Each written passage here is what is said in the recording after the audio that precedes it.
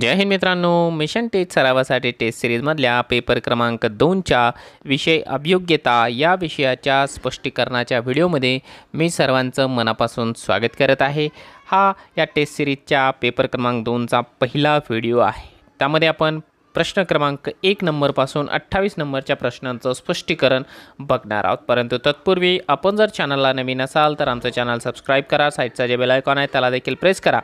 जेणेकरून अभियोग्यता चाचणीच्या संदर्भामध्ये आणि शिक्षक भरतीच्या संदर्भामधल्या कोणत्याही माहितीची अपडेट आपल्याकडून मिस होणार नाही.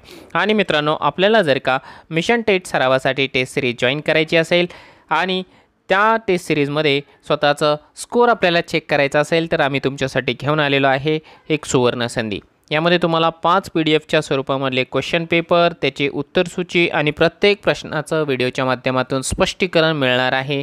तेही अगदी एकशे नव्याण्णव रुपयांमध्ये. आपल्याला जर का ही टेस्ट सिरीज जॉईन करायची असेल तर स्क्रीनवरती आपल्याला जो नंबर दिसत आहे त्या नंबरला संपर्क करून आपण ही टेस्ट सिरीज जॉईन करू शकता. चला तर मग मित्रांनो सुरू करूया आजच्या स्पष्टीकरणाच्या व्हिडिओला. बघा आपण जर अभियोग्यता हा विषय बघितला तर तो अतिशय महत्त्वाचा विषय आहे आणि अभियोग्यता या विषयामध्ये या ठिकाणी सायकोलॉजी हा देखील विषय इन्क्लूड करण्यात आलेला आहे. आणि साधारणपणाने जर ॲव्हरेज आपण घेतलं तर प्रत्येक प्रश्नपत्रिकेमध्ये या विषयाचे तीस प्रश्न विचारण्यात आलेले असतात आता बघा आपण एक नंबरच्या प्रश्नापासून या ठिकाणी बघूया.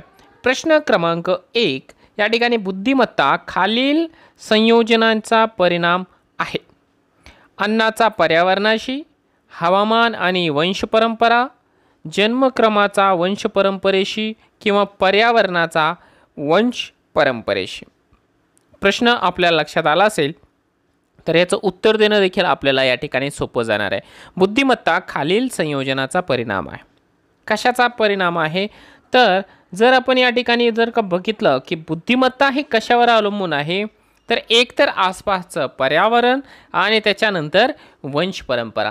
या दोघांच्या संयोजनाने जे आहे एखाद्या व्यक्तीची व्यक्तीची म्हणण्यापेक्षा एखाद्या जे बालकाची बुद्धिमत्ता आहे ती या ठिकाणी ग्रो करत असते.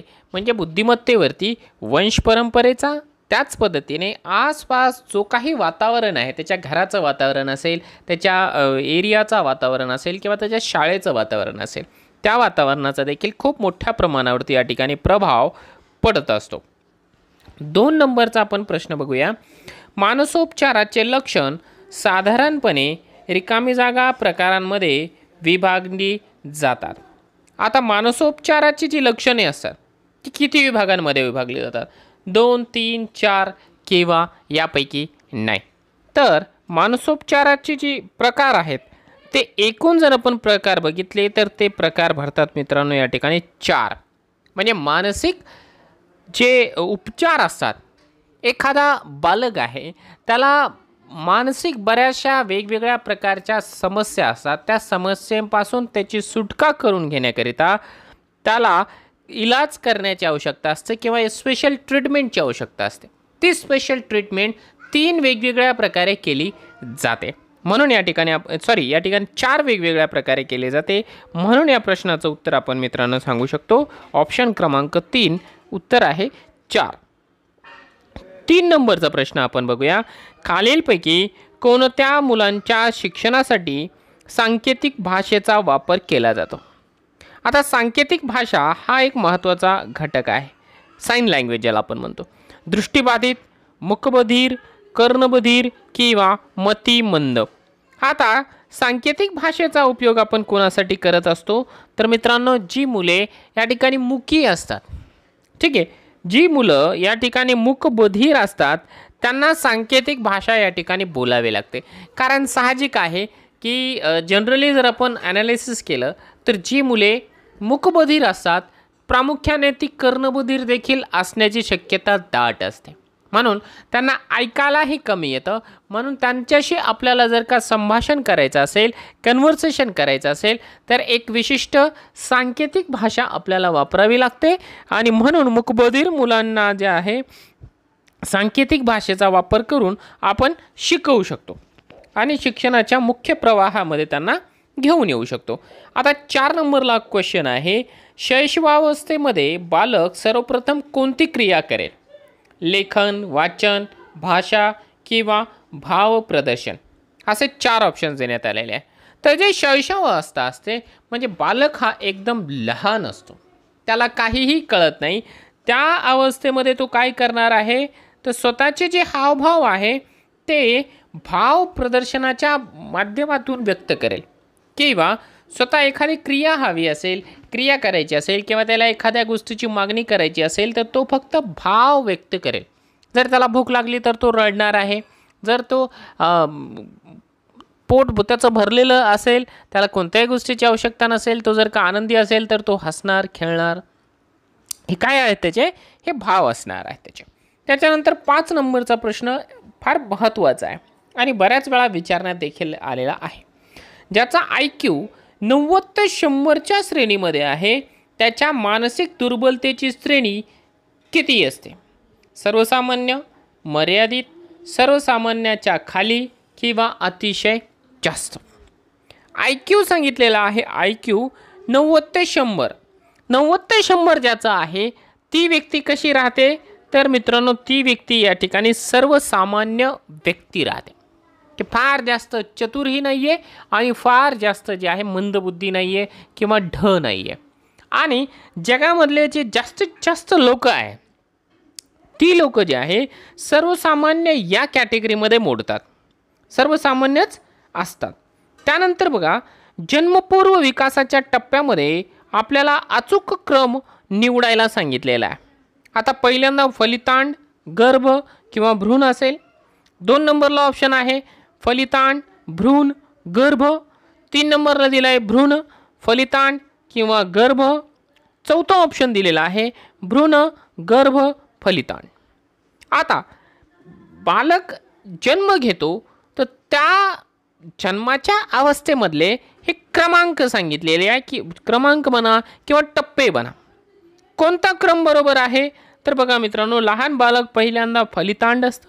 त्यानंतर ते भ्रूण होतं आणि त्यानंतर काय होतं? गर्भ होतं. म्हणजे ऑप्शन नंबर तीन हे या प्रश्नाचं करेक्ट उत्तर असायला पाहिजे. बालकांसाठी जे हेल्पलाईन नंबर आहे तो कोणता आहे? खालील चार ऑप्शन आहेत. दहा अठ्ठ्याण्णव दहा नव्याण्णव दहा अठ्ठ्याऐंशी किंवा सत्तर अठ्ठ्याण्णव. हा नंबर तुम्हा सर्वांना माहितीच असणार आहे. बालकांच्या कल्याणासाठी शासनानं सुरुवात केलेलं दहा अठ्ठ्याण्णव हे काय आहे? बालकांचा हेल्पलाईन नंबर आहे. आत्यानंद हे कशाचं लक्षण आहे? आत्यानंद खोळेपणा अतिसेवन छिन्नमानस किंवा मनोजन्य क्षुधा नाश. फार जास्त ज्याला आनंद होतो. आत्यानंद तो काय आहे? एक खुलसटपणाचं लक्षण आहे. ठीक आहे. ते एक प्रकारे खुळेपणाचं लक्षण आहे. ऑप्शन नंबर एक हे या प्रश्नाचं उत्तर असायला पाहिजे. खालीलपैकी कोणते व्यक्तिमत्वाचे वैशिष्ट्य नाही आहे आता चार वैशिष्ट्य सांगितलेले. आहे व्यक्तिमत्व हा अनेक गुण विशेषणांचा संग्रह आहे. हे काय असेल? हे ऑप्शन असणार आहे बरोबर. ठीक आहे. त्यानंतर दोन नंबरला व्यक्तिमत्व ही गतिमान प्रक्रिया आहे.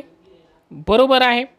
त्यानंतर व्यक्तिमत्व हे अनुवंश व परिस्थितींचा संमिश्र परिणाम असते. हे पण बरोबर आहे. व्यक्तिमत्वाचं वैशिष्ट्य आहे. व्यक्तिमत्व हे बाह्य स्वरूपातून लक्षात येते. बरोबर आहे का? नाही आहे व्यक्तिमत्व हे बाह्य स्वरूपावरून लक्षात येत नाही. हे जे ऑप्शन आहे ते असणार आहे करेक्ट ऑप्शन म्हणजे खालीलपैकी कोणते व्यक्तिमत्वाचं वैशिष्ट्य नाही आहे तर व्यक्तिमत्व हे बाह्य स्वरूपातून लक्षात येते. हे त्याचं वैशिष्ट्य नाही असं आपण म्हणू शकतो. दहा नंबरला बघा. शिक्षकाने बालकाच्या व्यक्तिमत्व विकासासाठी काय करू नये? बालकाला आपुलकी व सुरक्षितता प्रदान करणे. करावे की करू नये? करायला पाहिजे.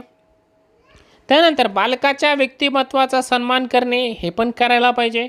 बालकाशी मनमोकळी चर्चा करणे हे पण करायला पाहिजे. आता दोन नंबरचं ऑप्शन बघा. बालकास भीती आणि दडपणाच्या साह्याने उत्तम मार्क पाडण्यासाठी प्रेरित करणे हे बरोबर आहे का? नाही आहे असं करू नये. ठीक आहे उत्तम मार्क मिळावे यासाठी त्यांना प्रेरणा द्यावी पण त्यासाठी जे आहे भीती किंवा दडपण याचा उपयोग कदापि केला जाऊ नये. म्हणून ऑप्शन नंबर दोन हे या प्रश्नाचं उत्तर बरोबर असायला पाहिजे. त्यानंतर अकरा नंबरचा प्रश्न आहे. शाळेतून बालकाच्या व्यक्तिमत्वामध्ये कोणते बदल घडून यायला हवे आहेत? आता विद्यार्थ्याने आत्मविश्वास प्राप्त करावे हे तर व्हायलाच पाहिजे. व्यक्तिमत्वाचा सर्वांगीण विकास होणे त्यासाठी तर हे जे लोक असतात ते बालकाला आपल्या मुलाला जे आहे शाळेत पाठवतात. बालकाला समस्या सोडवण्याची क्षमता निर्माण होणे हे पण व्हायलाच पाहिजे. म्हणजे तिन्ही आहे. म्हणजे आपण काय सांगू शकतो की वरीलपैकी सर्व हे काय असायला पाहिजे? योग्य उत्तर आहे. म्हणून ऑप्शन नंबर चार हे या प्रश्नाचं बरोबर उत्तर असायला पाहिजे. त्यानंतर बघा जिन पियाजेचा सिद्धांत मुलाच्या कशासोबत संबंधित आहे? मानसिक विकास भावपूर्ण भावना बोधात्मक विकास शारीरिक विकास. जिन पियाजेचा सिद्धांत या ठिकाणी विचारलेला आहे. तर पियाजेचा जो सिद्धांत आहे तो बोधात्मक विकासाशी संबंधित आहे. बालकाच्या बोधात्मक विकास. त्यानंतर मन ही एक कोरी पाटी असते हे विधान नेमकं कोणाचं आहे? मानवी मन हे म्हणजे काय आहे? एक प्रकारची कोरी पाटी आहे. हॅरिस्टॉटल सॉक्रेटिस टॉलेमी किंवा प्लेटू. असे आपल्याला चार ऑप्शन्स आहेत. तर बालकाचं मन हे कोरी पाटी आहे असं म्हणणारं जे सायंटिस्ट आहे ते आहे ॲरिस्टॉटल त्यानंतर शिक्षण पद्धत काय आहे? शिक्षण पद्धत ही एक कला आहे ती एक विज्ञान आहे कला आणि विज्ञान दोन्ही आहे किंवा सांगता येणार नाही? तर आप साहजिक आहे या प्रश्नाचं उत्तर फार डिफिकल्ट आपल्याला जाऊ नये कारण शिक्षण म्हणजे काय आहे? तर शिक्षण ही एक प्रकारची कला आहे आणि शिक्षण याच्यामध्ये विज्ञान याचा तर अंतर्भाव असतोच असतो. म्हणून ऑप्शन नंबर तीन. आता गणित हा कोणत्या स्वरूपाचा विषय आहे? तो भावनिक आहे अलंकारिक आहे तार्किक आहे किंवा गणित हे अतिशय कठीण आहे? बघा गणित कठीण असतं परंतु इथे लॉजिक व्यवस्थित लागणार नाही आहे आपण असं सांगू शकतो की गणित हे काय आहे? तर एक प्रकारे तार्किक असा विषय आहे. ठीक आहे? तार्किक या स्वरूपाचा विषय अध्यापन उद्दिष्टे म्हणजे नेमकी काय आहे? आता बघा विद्यार्थ्यांमध्ये अपेक्षित वर्तन बदल घडणे हे काय आहे? अध्यापनाचं वैशिष्ट्य आहे बरोबर आहे. याच्याशिवाय जे आहे अध्यापनाचा उपयोगच नाही. अभ्यासक्रम ध्येयावर आधारित पाठ्य घटकानुरूप लिहिलेली विधाने हे पण बरोबर आहे. त्यानंतर ध्येयाप्रत नेणारे लहान लहान टप्पे हे पण काय असायला पाहिजे? बरोबर असायला पाहिजे. म्हणजे या प्रश्नाचं उत्तर असणार आहे ऑप्शन नंबर चार वरीलपैकी सर्व. अध्यापनाची वैशिष्ट्य हे वरील जे तीन दिलेली आहे ते तिन्ही अध्यापनाची वैशिष्ट्ये आहे. सतरा नंबरला प्रश्न आहे असली मुले एक समस्या असतात. आता कोणत्या प्रकारची मुले आहेत? की जी एक प्रकारची समस्या आहे. प्रश्न सोडवत नाही. अनुवांशिकपणे समस्यादायक असतात. गरीब कुटुंबातून येतात किंवा जे लहान भाऊ किंवा बहीण असतात. कोणती मुलं एक प्रकारची समस्या आहे? तर जे मुलं प्रश्न सोडवत नाही ती मुलं काय असू शकतील? ह्या ठिकाणी एक प्रकारची समस्याच आहे. कारण त्यांचं मन त्यांना जे आहे त्या गोष्टी करण्यापासून थांबवतो. त्यांना प्रेरणेची नितांत आवश्यकता असते. अठरा नंबरला आहे सामान्य व्यक्तीचे दृष्टिक्षेत्र किती असते? एकशे ऐंशी एकशे सत्तर एकशे साठ किंवा एकशे वीस. किती असणार आहे? जे सर्वसामान्य व्यक्ती आहे म्हणजे ज्याला कोणत्याही प्रकारचा दृष्टीदोष नाही आहे त्याचं जे दृष् दृष्टिक्षेत्र आहे ते असतं एकशे ऐंशी अंश. त्यानंतर एकोणावीस नंबरला बघा एक कुशल शिक्षक कशाची खात्री करतो? त्याच्या विद्यार्थ्यांमध्ये सहकार्याची भावना? कोणत्याही निर्बंध न करता स्वतःच्या पायावर उभे राहणे किंवा स्वतःच्या बळावर त्या गोष्टी त्यांनी कराव्या. तीन नंबरला आहे त्याच्या विद्यार्थ्यांमधील स्पर्धा. चार नंबरला आहे परिस्थितीनुसार विद्यार्थ्यांमध्ये सहकार किंवा स्पर्धाची भावना निर्माण यापैकी नेमकं काय असेल?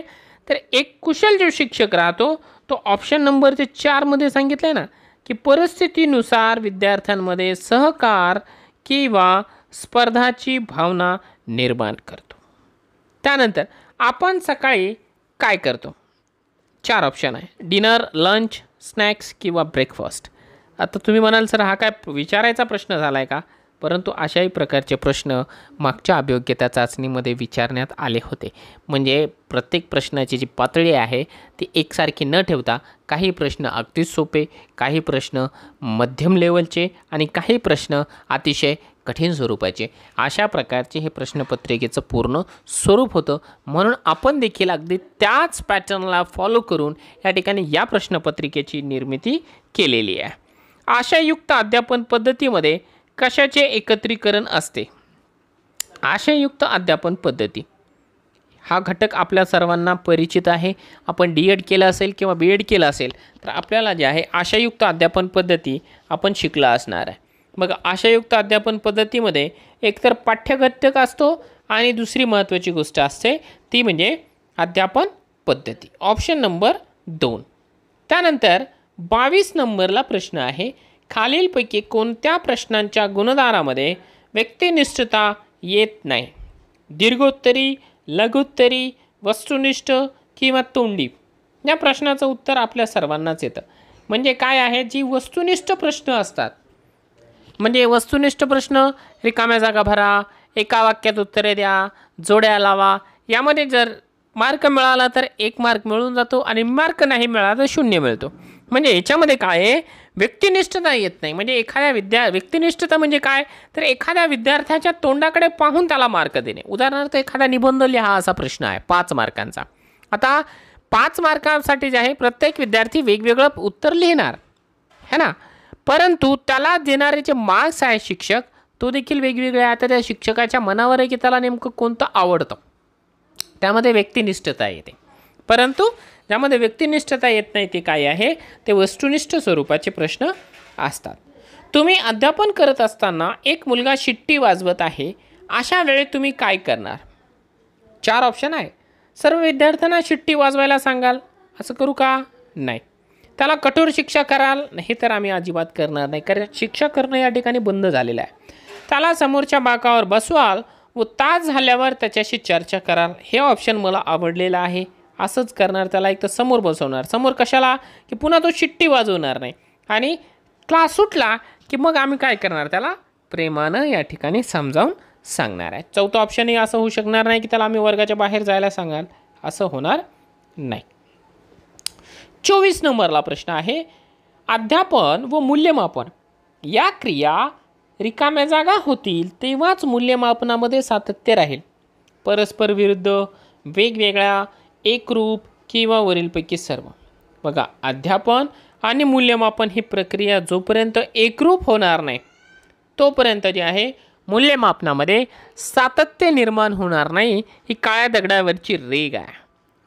विद्यार्थी प्रकल्प करत असताना शिक्षकांना त्यांच्या अध्ययन करण्याच्या रिकामी जागा प्रक्रियेमध्ये परिचय होतो. यांत्रिक तात्विक भौतिक नैसर्गिक. काय असू शकेल?